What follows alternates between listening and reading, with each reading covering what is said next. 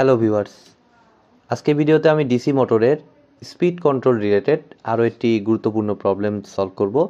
তবে ভিডিওটি শুরু করার আগে আমি অবশ্যই বলব, যারা আমার চ্যানেলে একদম নতুন, তারা আমার প্লেলিস্ট থেকে ডিসি মোটরের উপর আগের বেসিক ভিডিওগুলো একটু দেখে আসুন, তাহলে আপনাদের বুঝতে সুবিধা হবে। বিশেষ করে এর আগে কিন্তু আমি DC motor speed control related প্রায় একটি থিওরি ক্লাস এবং সাথে আটটি প্রবলেম সলিউশন কিন্তু অলরেডি করে দিয়েছি। তো সেগুলো অবশ্যই আপনারা দেখে আসুন।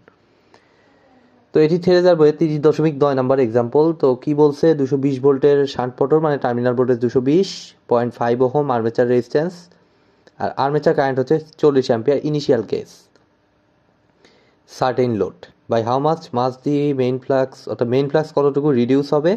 To raise the speed by fifty percent অর্থাৎ ফিফটি পার্সেন্ট স্পিড ইনক্রিজ করতে ফ্লাক্স কতটুকু রিডিউস করতে হবে। যদি এটা ডেভেলপ টর্ক কনস্ট্যান্ট থাকে, তো এটা একটা গুরুত্বপূর্ণ point neglect, saturation and armature reaction অর্থাৎ স্যাচুরেশন এবং আর্মেচার রিয়েকশন আমাদের বিবেচনা করার দরকার নাই। তো আমরা ফার্স্টে ইকুইপমেন্ট সার্কিট আঁকাবো। যেভাবে আমি, যে- প্রসিডিউরে আমি আগাই সেম প্রসিডিউরে আমি আগানোর চেষ্টা করব। তাহলে আর এস এইস এইখানে আমার কি? আমার হচ্ছে আর এ আর্মেচার রেজিস্ট্যান্স এবং এর সাথে আমার কি?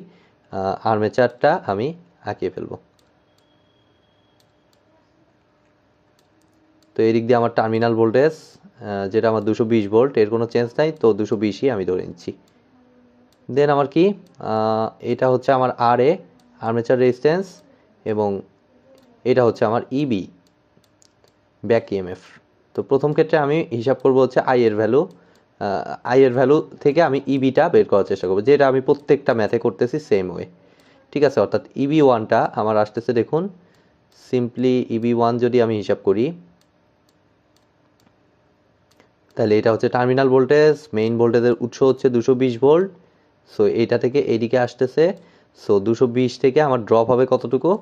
জাস্ট আর্মেচার ড্রপটুকু মাইনাস করে দিলেই ইবি ওয়ান পেয়ে যাব। তো আর্মেচার কারেন্ট ইনিশিয়ালি কত দিছে? চল্লিশ অ্যাম্পিয়ার তাই চল্লিশ গুণ পয়েন্ট ফাইভ তা চল্লিশ ইন্টু পয়েন্ট ফাইভ মানে চল্লিশের অর্ধেক, বিশ, দুশো বিশ মাইনাস বিশ মানে দুশো ভোল্ট সিম্পল এইটুকুতে কোনো ঝামেলা নাই।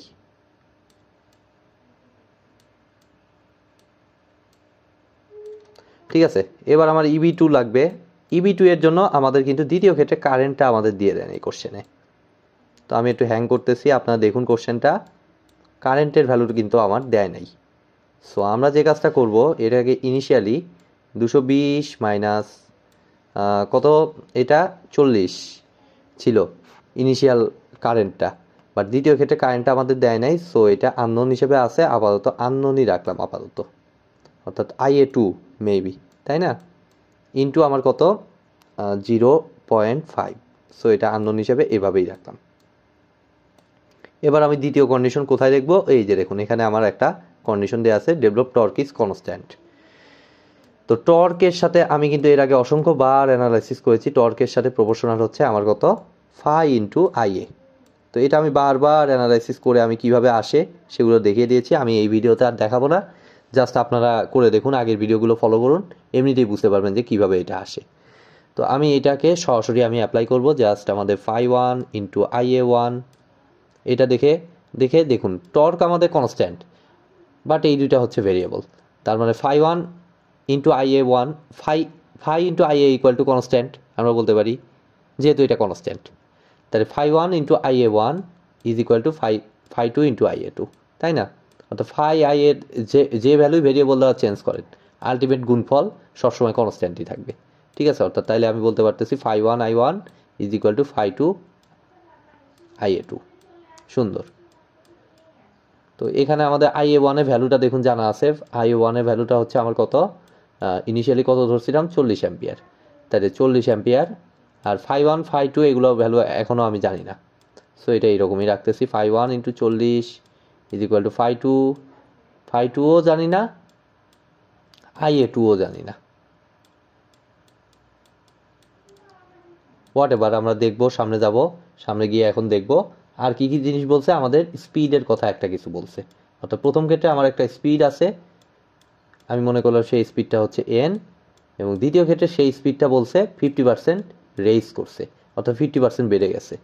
তাহলে বেড়ে গেলে আমার কি হবে? নতুন speed N two is equal to initial speed যা ছিল ওইটা তো আছেই। তার সাথে অ্যাড হবে এক্সট্রা ফিফটি পার্সেন্ট অর্থাৎ এন এর ফিফটি পার্সেন্ট মানে পয়েন্ট ফাইভ এন তাই না? ফিফটি বাই হান্ড্রেড মানে পয়েন্ট ফাইভ তাহলে পয়েন্ট ফাইভ এন তাহলে ওয়ান প্লাস পয়েন্ট ফাইভ মানে হচ্ছে ওয়ান পয়েন্ট ফাইভ এন তাহলে এটাও বুঝতে পারলাম। মোটামুটি সিম্পলভাবে সিম্পলের মধ্যে দিয়ে এখনও আসি।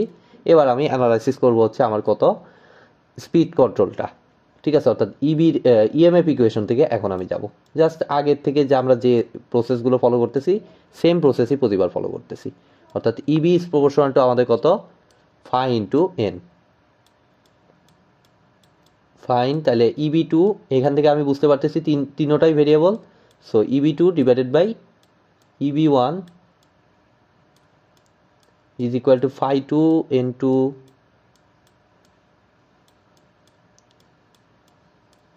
এখানে কিন্তু এই যে phi two phi one N two N one এগুলো এলোমেলো হয়ে যায়। সো একটু কেয়ারফুলি আস্তে আস্তে এই জায়গাটায় ক্যালকুলেশন করবেন যাতে ভুল না হয়। একটু ভুল হলেই পুরা ম্যাথের রেজাল্টই গরমিল হয়ে যাবে। ঠিক আছে? So phi one N one তাহলে আমাদের ইবি টু এর ভ্যালু আমরা, আমাদের আননোন হিসেবে আছে সো এটাই লিখব। দুশো বিশ minus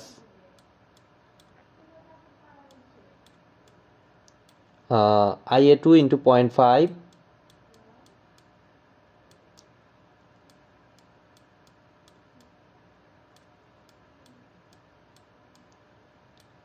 divided by EB one EB ওয়ানের ভ্যালু কত? আমাদের ইবি ওয়ানের ভ্যালু হচ্ছে দুশো ভোল্ট এই যে এখানে বের করে রেখেছি, দুশো ভোল্ট তো দুশো এখানে বসাইলাম।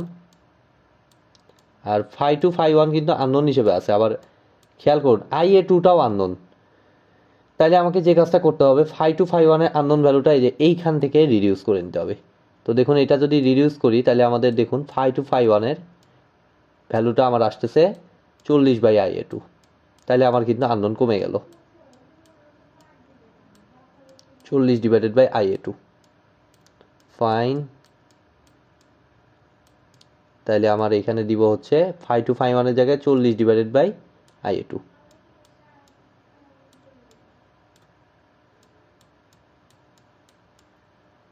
আর এন টুর ভ্যালু হচ্ছে কত? এন টুর ভ্যালু হচ্ছে one point five N so এখানে ওয়ান পয়েন্ট ফাইভ এন বসাবো।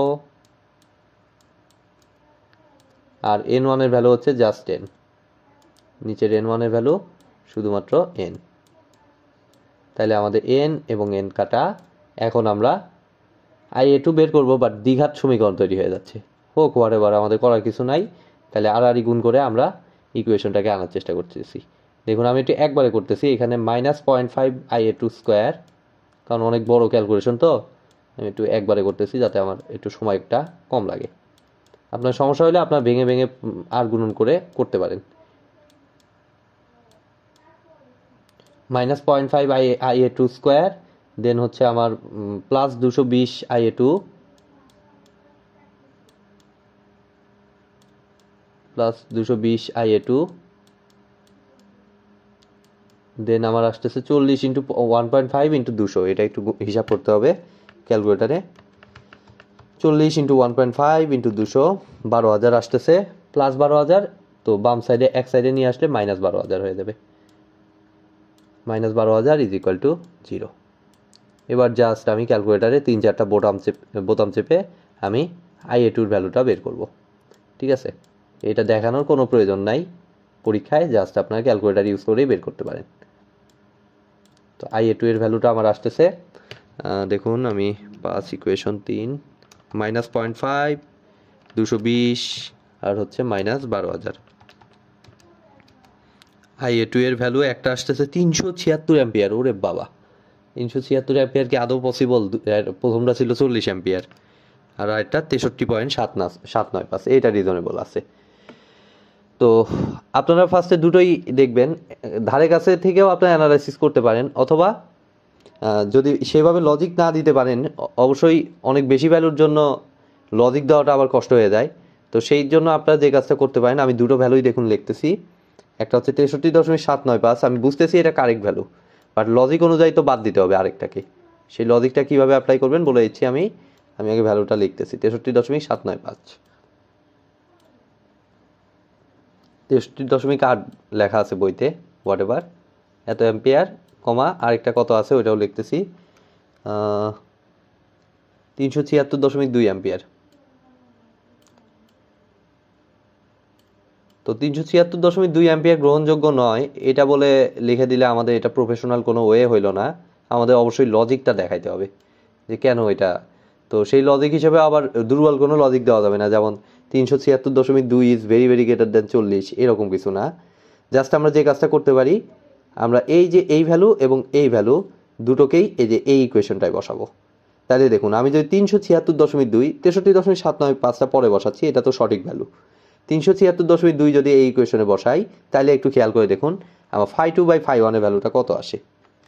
আমি ধরুন যে আমি বসাচ্ছি, তাহলে চল্লিশ ডিভাইডেড বাই ধরুন যে তিনশো ছিয়াত্তর দশমিক দুই বসাইলাম।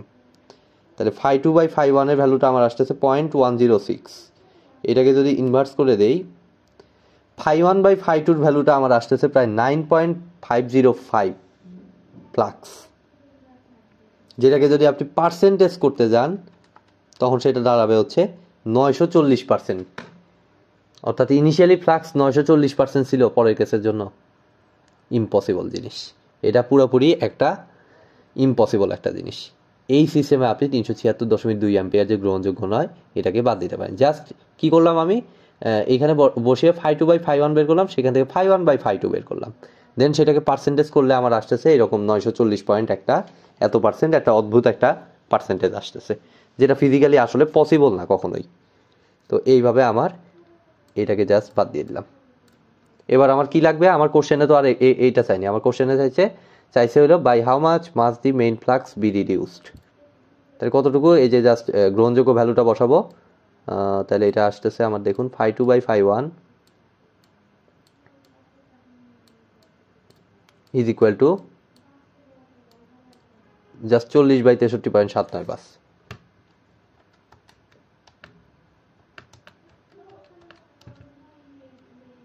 পয়েন্ট সিক্স টু সেভেন আসতেছে। তাহলে ফাইনালি আমরা যদি একটা বিয়োজন করি, আমাদের যে কোশ্চেনে কিন্তু চাইছে, এখানে একটা জিনিস একটু বলার আছে আমার, সেটা হচ্ছে যে কোশ্চেনে আমার চাইছে যে how much must the main flux be reduce to raise অর্থাৎ কতটুকু রিডিউস হবে? বাট বইতে কেন জানি থ্রেজার বইতে এর আগেও এইটা প্রথম না, এর আগেও অসংখ্যবার দেখানো হয়েছে যে চাইছে রিডিউস বাট এখানে দিছে হইল আমার কি ফাইভ টু ফাইভ ওয়ানের এত পার্সেন্ট তাহলে কীভাবে হলো? কোশ্চেনে চাইছে একটা, আমি বের করে রাখছি আরেকটা। এরকম করলে তো হবে না। সো আমাদের যে কাজটা করতে হবে, অবশ্যই যেটা চাইছে সেটাই বের করতে হবে। অর্থাৎ রিডিউস মানে হচ্ছে এখানে বিয়োজন করতে হবে। তাহলে five two minus five one divided by five one is equal to তাহলে আমার দেখুন আসতেছে point six two seven minus one point six two seven minus one মানে আমার আসতেছে সাঁত্রিশ দশমিক দুই নয় সাঁত্রিশ দশমিক তিন পার্সেন্ট বলতে পারি। মাইনাস সাঁত্রিশ পয়েন্ট তিন পার্সেন্ট। ঠিক আছে, একবারে পার্সেন্টেজে নিয়ে নিছি বাট কি পরিমাণ রিডিউস হয়েছে তো আমি ফাইভ টু থেকে ফাইভ ওয়ান বিয়োগ দিছি। এটা করলে তো আমার হচ্ছে না। অবশ্যই তাহলে মাইনাস ওয়ান দ্বারা উভয় পক্ষে গুণ করে দিলে আমাদের মাইনাসও চলে যাচ্ছে এবং যা চাইছে কোশ্চেনে সেটাও বের হয়ে যাচ্ছে। তো রিডিউসড পার্সেন্টেজ হচ্ছে five one minus five two divided by five one is equal to তাহলে আমার আসতেছে সাঁত্রিশ দশমিক তিন পার্সেন্ট। বইতে লেখা আছে sixty two point seven percent অর্থাৎ একটা আরেকটার কত গুণ সেটাকে অ্যান্সার দেওয়া আছে। তো সেটা অবশ্যই আমার ঠিক না, যেটা চাইছে সেটাই আমার দেওয়া উচিত। তো আজকের মতো ভিডিওটি এ পর্যন্তই। ভিডিওটি যদি ভালো লেগে থাকে, অবশ্যই ভিডিওটি একটি লাইক দিবেন, বন্ধুদের সাথে বেশি বেশি শেয়ার করবেন, আর চ্যানেলে নতুন হয়ে থাকলে অবশ্যই চ্যানেলটি সাবস্ক্রাইব করবেন। ধন্যবাদ।